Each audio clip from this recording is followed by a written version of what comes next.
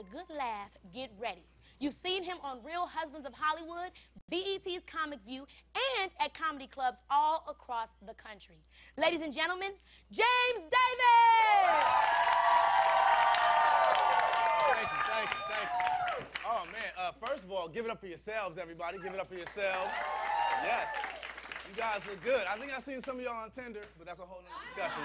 Um, uh, let's talk about it. The BET Awards. Yes, right? Uh, Kiki, you looked gorgeous.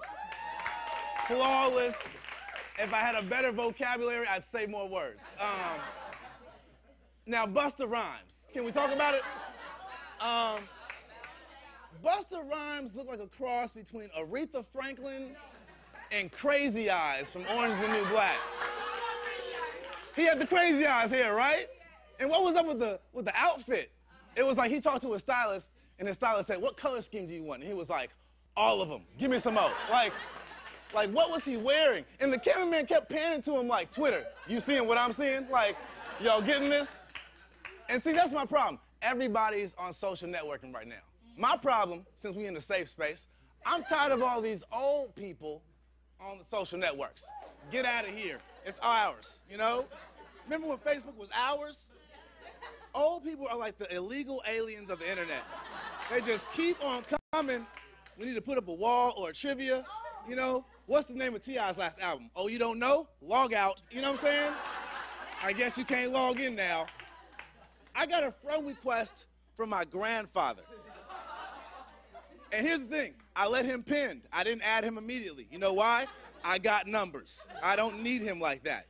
But when you when you first join a social network, you'll add anybody, right? You log on, molester Mike wants to be friends.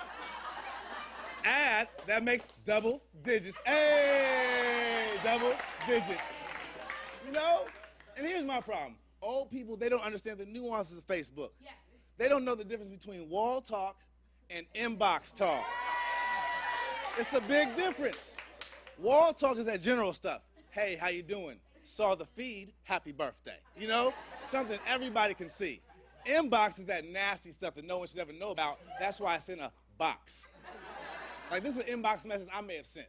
Hey baby girl, had a daydream about you. You were butt naked. I put some Lawry seasoning salt on your ankle and licked it off. Send. Is it weird? I'm sorry. And you know what? Because that was between me and the freak I sent it to. That's why I was in a box. But you can't confuse the two. I went to a house party, some things went down. The next day, my boy writes on my wall, old girl from last night. Did y'all hook up? On my wall. So now the whole feed's like, oh, you out there.